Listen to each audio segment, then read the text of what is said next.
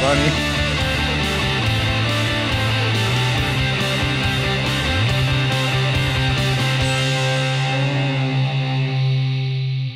Alright guys, so I know in one of our last videos we said that we were going to just kind of skip forward to the flying of the plane, but felt there was still a few steps that we could cover in the build of the Extreme Flight Yak. So uh, the next step is setting up the wings. So I'm going to go over this. Um, you notice John's not here.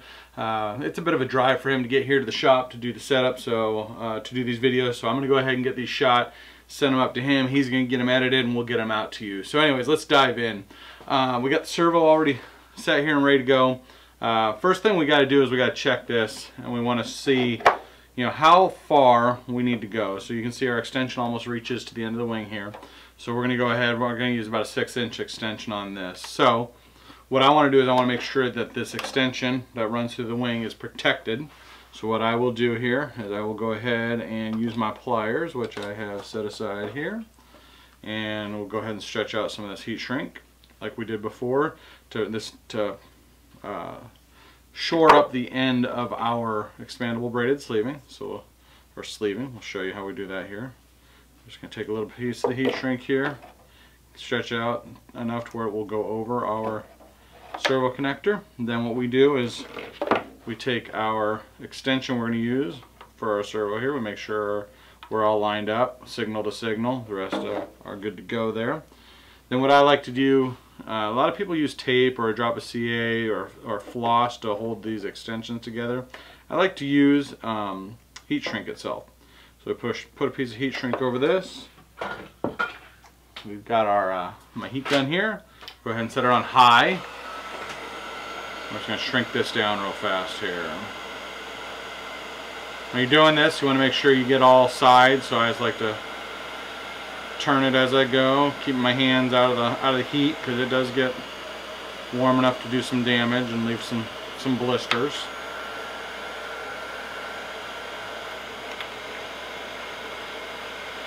And there we go, we got our heat shrink on. Hang this over here. Perfect. So now we've got our extension set long enough to where it will run into the fuselage of the plane. Next step we do is we take our expandable braided sleeving here We work it on over the extension all the way down.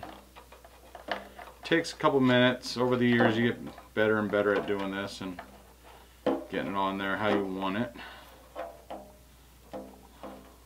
Run it in ways like that. Pinch the end together, work our heat shrinking on here like so. There you go. I like to pick it up past so I know that it's uh, there are no free edges that are going to catch anything. Run it down to about half an inch from the actual servo there, or the grommet in the servo. Run the wire up here like so, with the heat shrink. Get our gun again, put it on hot.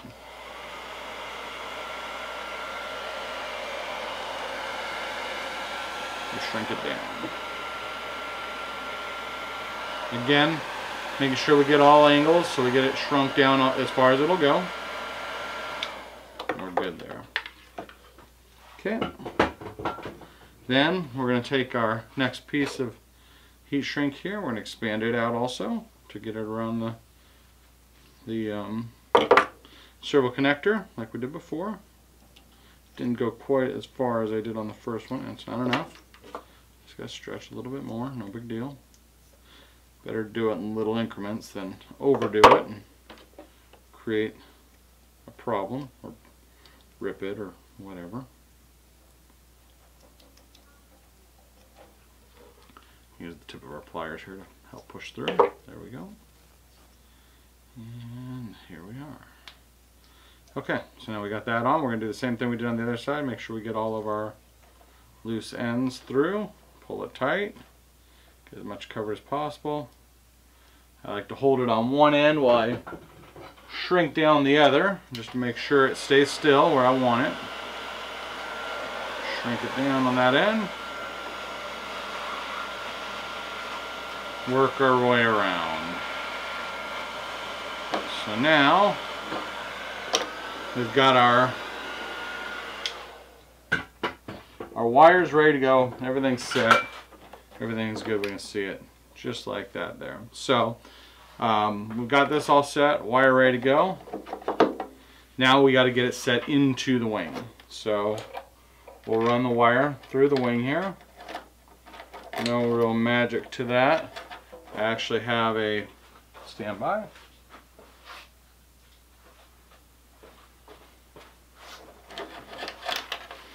So next we'll run this wire through here. We uh, run this in. I actually have a, a, a, wire, a piece of piano wire here that I've bent on one end that I use to, to fish these wires out. Make sure I'm running the route I like.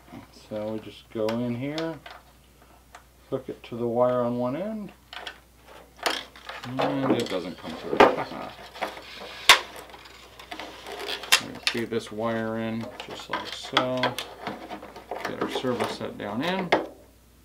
Now we can use our little fishing line here, and actually our wire came out all the way through, just like so. There we go. I set that aside. So now we've got our wire pulled through, routed how we want it. Got our servo in, nice and neat. Next step, take our Dremel tool, just like we've done before. We'll center the servo up. These these slots are pretty tight, so it's not going to go very far, but I just like to hold it down with one finger. We just run this 16th inch bit through all the mounting rods.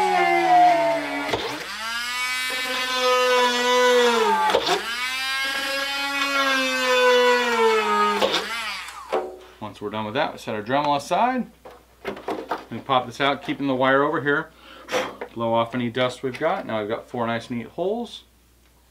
We take our pipette that we used in one of our other steps. It still has some thin CA in it. Put a couple drops on each hole here just to harden up the wood. And make sure we don't have a problem with our threads pulling out. Of course I should run a, a screw down in there first, so we're going to do that now. So we're going to end up double hardening this one. 64. I didn't have John here to tell me I was doing the steps out of order. So we'll cut our threads here. One down.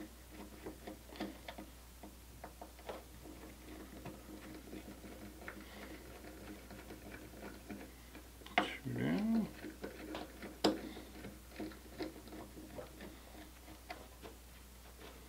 Amazing how warm these screws get just from the friction of running through this wood. There we go. Okay.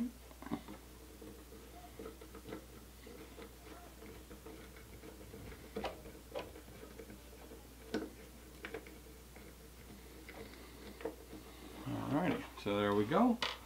Got our screws run down. Now we're going to do our drops of CA in order this time. Couple drops per hole. Like I mentioned before, I like to blow on them to make sure none of the CA is in the middle going to create a, a, plug basically. Want to be careful not to inhale too much around the CA because uh, you can develop an allergy to the fumes which is not fun if you want to keep building. Now that we got all that done, we'll put our screws back in.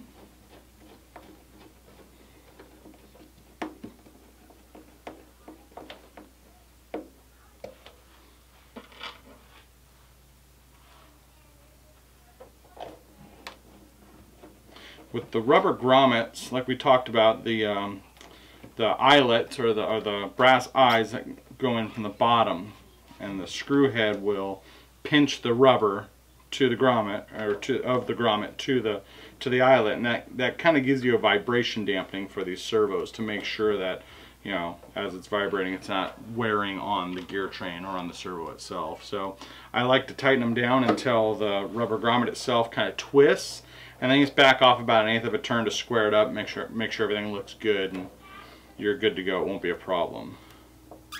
There we go. Okay. So now that we got that done, we're going to hook up our handy dandy matchmaker here that we've used a few, in a few of our steps before. To go ahead and hook it to our servo.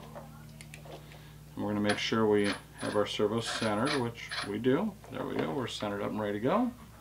To take our 2.5 millimeter screw uh, Allen driver here and pull our center screw off. I went ahead ahead of time and put our ball end on our arm. We're using the Extreme Flight one and a half inch arms on this. So we've got that on and we're just going to put this on as close to center as possible. That's pretty close. It's only about five degrees off. That's good.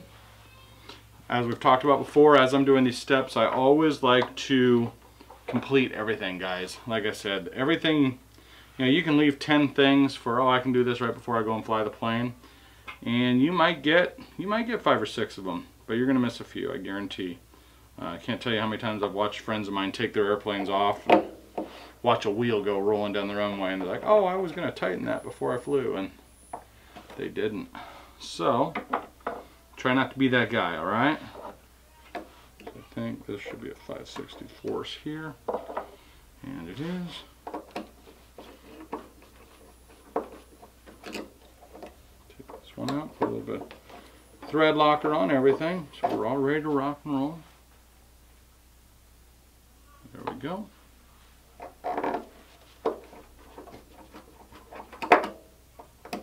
Like I say, I, uh, I ran the center screw down and backed out about eh, eighth of a turn just so this clamping screw can do its job. Then once I tighten that one up, now we tighten up the center screw and we're good. Now that all that's on, we can go ahead and disconnect from our matchmaker, like so. Set that aside. We will put our top on. I like to check the ProLink style links here, make sure this is the, the regular threaded side, so that's going to go to the arm. Start out like this. Now if you only have one person and the, and the surface is sitting flat like this, you kind of get it bound and you push the servo in and now we've got a little tension there so as we start to turn the threads are going to start to bite on these plastic pieces. It takes a little work to get it down but you'll get it. There we go. Put a little bit of pressure there. You can also kind of hold this one straight while you run this one in. There we go. Oh, bust it.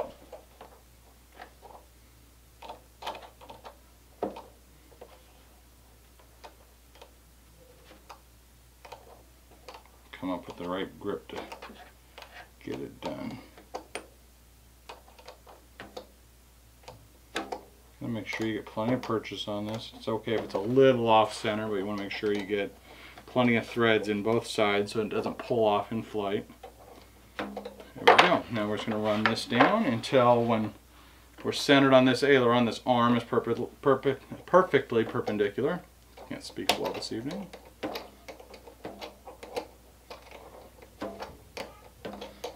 Need a, a ratcheting wrench for these.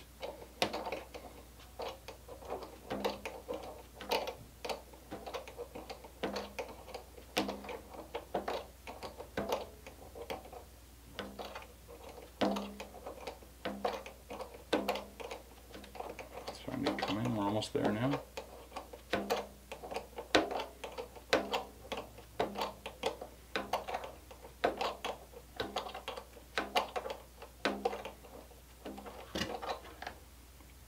Close.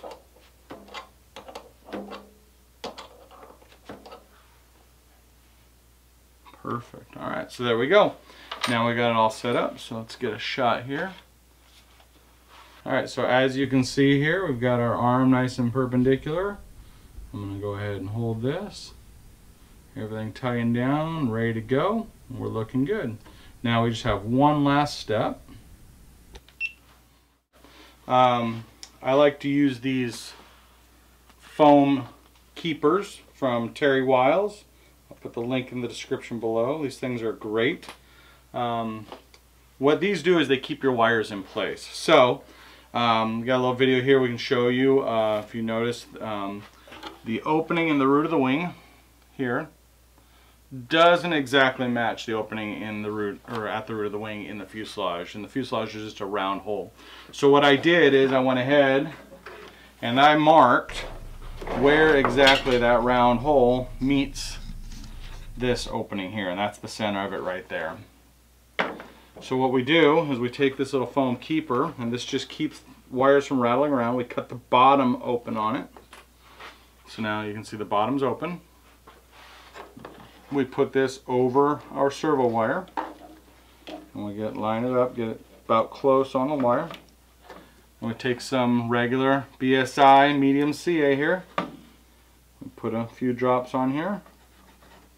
Nice little coat there. Put our lid back on. And then we take this keeper and we glue it in place. Now what this does is while we're flying it keeps the wires nice and still where they need to be and keeps everything in place so it's not vibrating around the plane. So and it's also nice because this keeps the wire from falling down into the wing in transport. So if you happen to store the wing up on end where the tip's down, this won't fall in. Now once that's sat there for a few, if you want to be sure it's going to cure, go ahead and hit it with a little bit of a kicker and we're good to go. So there you have it guys. That's how we set up the wings. Everything's got nylock nuts or thread locker on it. We've got our wire protection uh, on our extensions, making sure nothing's going to chafe on the ribs inside the swing when we're doing our, our uh, violent 3D maneuvers or just normal flying and the vibration from the engine. And this setup will last thousands of flights, guaranteed. Hope this helped you guys out, and we'll be back later with some more tips.